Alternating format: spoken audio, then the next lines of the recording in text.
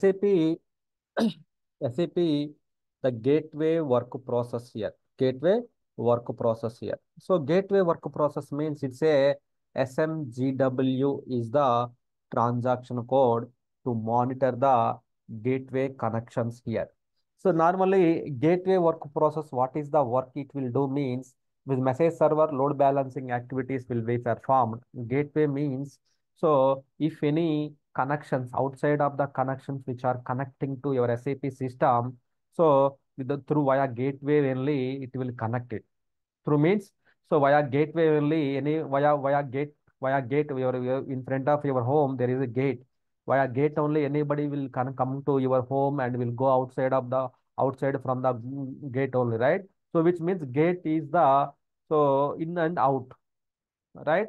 So some third party unknown persons is are unknown persons or authorized persons or anyone is coming. So then gateway gate is open, then they will come. If the gateway is closed, they will not come. Similar way in the SAP system also, in the gateway is kind of security, gateway security, right? If any connection is coming to the SAP system, if it is the authorized connection, valid IP, valid IP details or everything is there, then SAP system should allow the connections here. Why? Because gateway is the gateway is the one of the work process here, security related work process here. Security means not the normal SAP security. It kind of to protecting the our SAP systems from unknown persons, unauthorized people here. Sometimes what happens, so some hackers or someone that they will do, they will hack our system. Then if they hack our system, we have the financial data in our system they will theft the data, they will steal the data and whatever they want, they can do it, right? So they can perform all kind of activities in our SAP system here. They perform the all kind of activities in our SAP systems here. So in that case, what will happen? In that case, in that case, what will happen here? In that case, what will happen in the gateway work process here? So SMGW is the gateway work process here. So in the SAP gateway work process, it will it will it will restrict the it will restrict the connections here.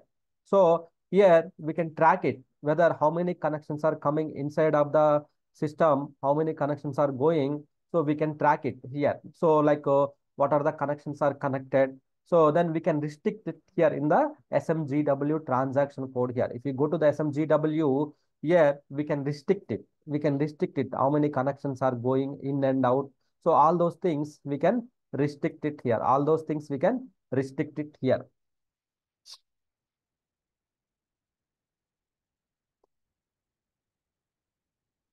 Okay, so then it's it's go we can go to the so here SMGW. We see here the gateway monitor, here we can see the the some connections details and everything here we can monitor it here how many connections are coming inside of the system, how many are going outside of the system. So all those things we can monitor it here. Here we can see the, so the connections are coming from the local only. But because our local host name or remote host name same, who is the user it is connected, so what they are doing. So all the connections are connected status or disconnected status here. So as per the gateway, if any connection which are older than or which are the disconnecting status, disconnected or something is a laptop issues or something, it's disconnected status. If it is a disconnected status, what we can see, we can cancel that sessions. So select it, then we can cancel it. We can cancel that sessions here. So we can we can go to the so logged on client. We can go to the so not expert function. We can go to the connections here. Then we can select it. We can cancel it here. We can cancel that sessions here. We can cancel it that local application server sessions. We can cancel it here right? So that type of things we can do it here. Here, every gateway, there is a, every gateway, there is a connection limit here. Means every application server has separate gateway work process there here. We have the two application server, we have the two gateway. If the two application servers are there, then each application server, we have the separate gateway. Means we have the two, two, two homes, then there are the two, two uh, gateway process are there, right? Two gateways are there. Same as like here, here the two application servers, we have the two gateways are there here. So each gateway, the connections we can find out here. Is that all are connected status? Who is the user? We can see it here. Suppose if any connection are disconnected, the status is the disconnecting or disconnected, then we can delete it manually. We can also delete that connection manually. Sometimes gateway work process will unable to delete it due to the some internal issues or ICM issues, it won't delete it. Then in this case, we can also manually delete it. We can also manually delete that connections. We can delete it here, right? So every gateway by default, we have the, it will restrict the, every home there is a limitations, right? So same here also in this application, there is a, so thousand connections are there here in the every application server. So we have the thousand applications, thousand connections, it will allow it, the maximum capacity. So we have the three connections. But if we have the 2000 connections are coming, then what will happen? It will allow. If the 2001 person is logging, connection is coming, then the gateway work process will reject it. Why? Because the gateway, the maximum capacity is the 2000 only. The 2001 is coming, it will reject that connection. It will reject that connection here. It will reject that connection here. That is the reason. So we have the, so we can see, um, that is the reason we see the gateway work process. So it will monitor the, so the connections which are coming, active connections and everything here. If the person is valid or valid IP, then only the gateway connection will restrict it here. The person is active and everything, then only it will restrict the connections here, right? So that is the one thing we can see it here.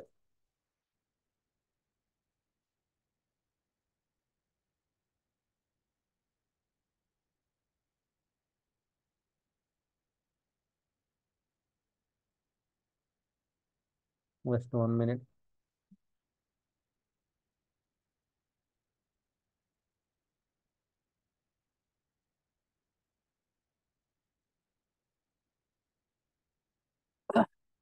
Okay, it will restrict the connections here. Suppose sometimes some companies, some organizations, they want to put the some other external connectivity also, more securable connectivity also here. In that case, they will enable the external security, means some additional security features. Normally, gateway will perform the all other some, some default security connections here. Gateway will perform the default security connections. You can go to the go, go to and we can go to the go to here then go to the, the trace functions here. So, the, so trace gateway display the file.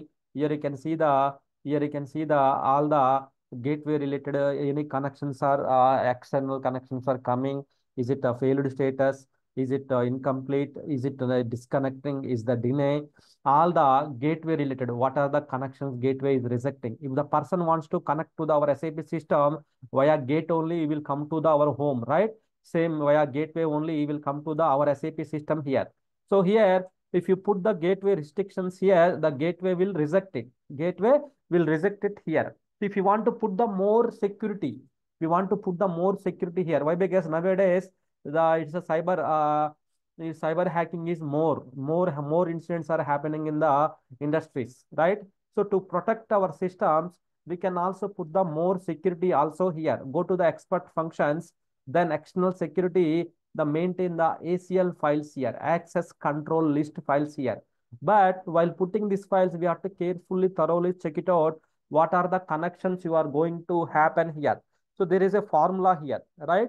You can see P space user means P means permit, user equals to star, which means it will accept the all the user connections. Then local connections or internal connections, it will accept it then TP is cold start. Any laptop address system will connect. So you guys are connecting from any laptop to you can you are connecting to the here, right? But if I make it some uh, restrictions here, you cannot connect it. If I if I change these parameters to the what I can what I will do here, if I change the parameters to the P means permit. So TP, TP means laptop uh, IP details and everything here. So you guys are using the different different laptop computer names and everything. You are connecting to the my remote server, right? SAP systems. If I put the restrictions like suppose all I want only allow the connections like SAP star means all your laptops are starting with the SAP star. SAP star, you can only it will only allow the connections here. It will only allow the connections here, right? So then like that also we can put the restrictions like that also. So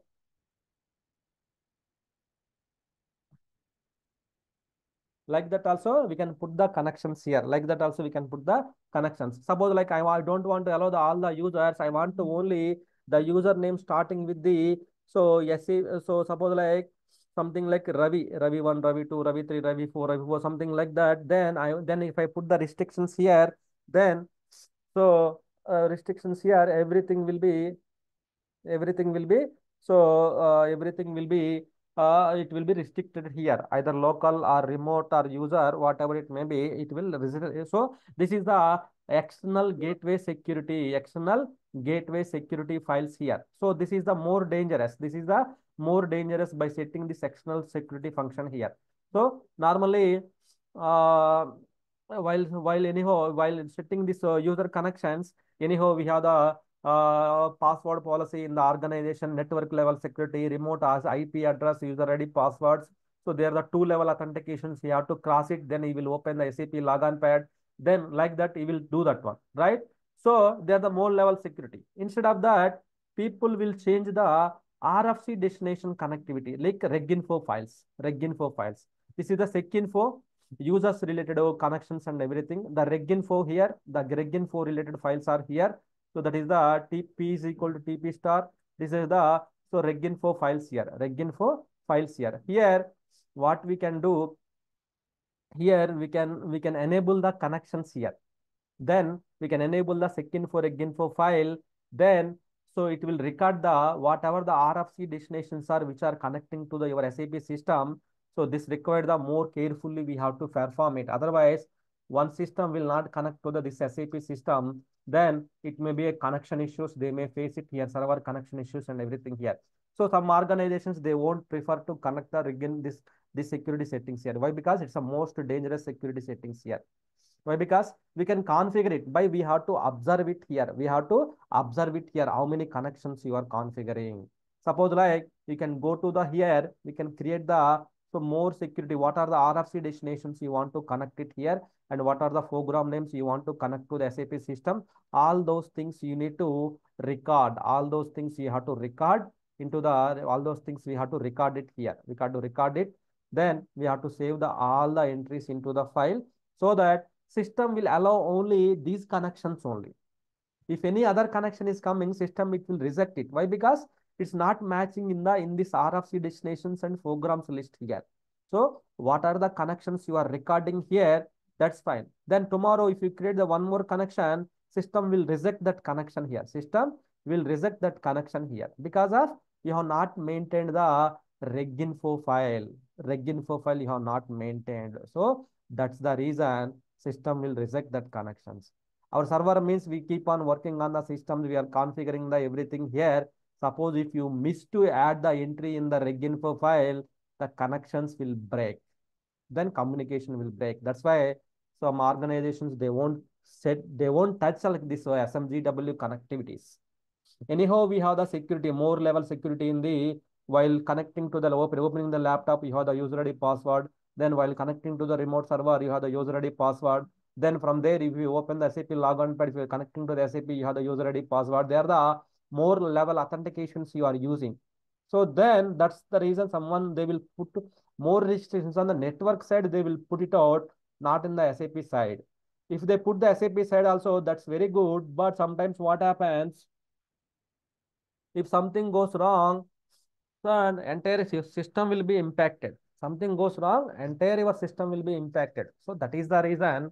So people, some people, they won't touch this secinfo and reginfo files here. Secinfo and reginfo files, they won't touch it here. Secinfo and reginfo files, they won't touch it here. So that is the reason here, right? So that is the one of the thing of secinfo, reginfo. This will be handled by the gateway process here. Normally, when you are going to the one of the celebrities' house or anyone house, so there is a gateway security. So right, so he will do the necessary sanity checks and uh, authentication. Then once you are okay, valid person, then only he will allow to meet that person, right? He will allow the inside inside of that building, right?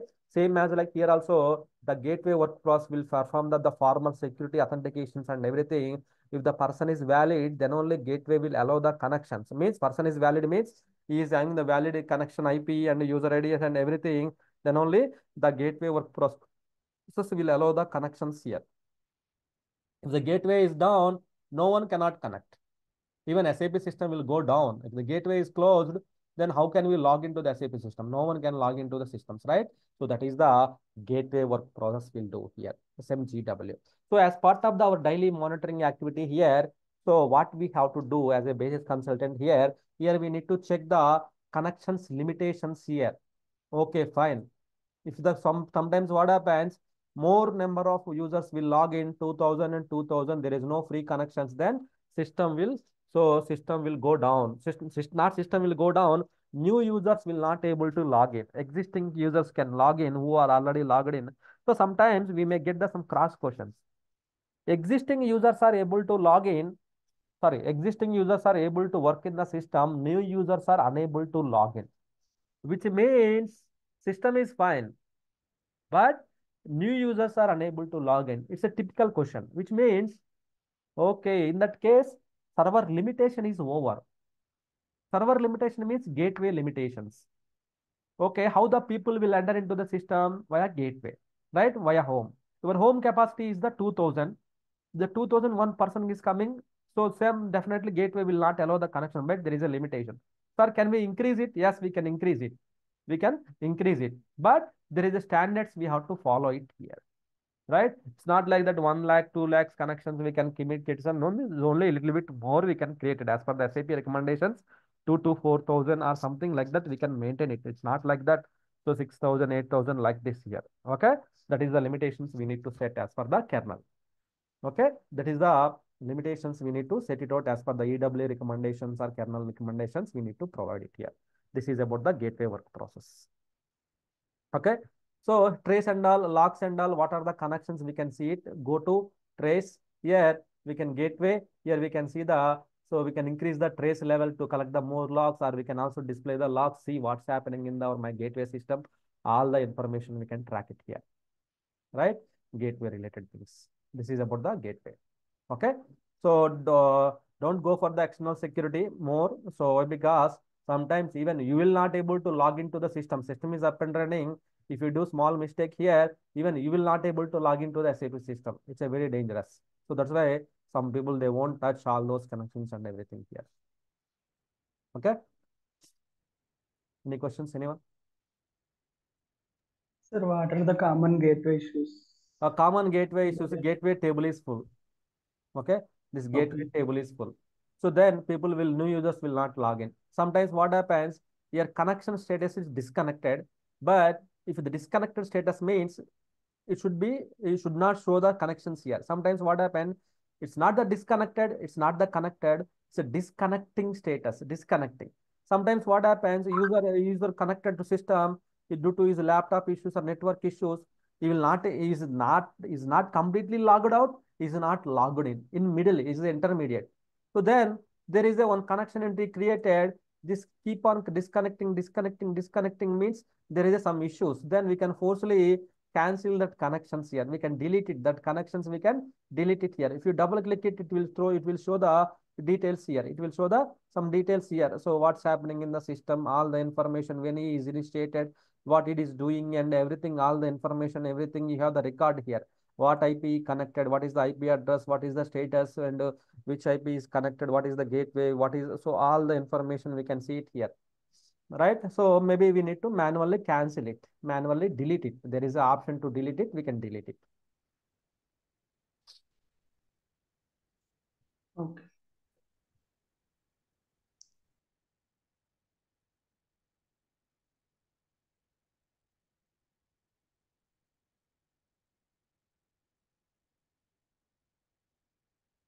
Okay. So that's it for today. Thanks guys. So you can practice it.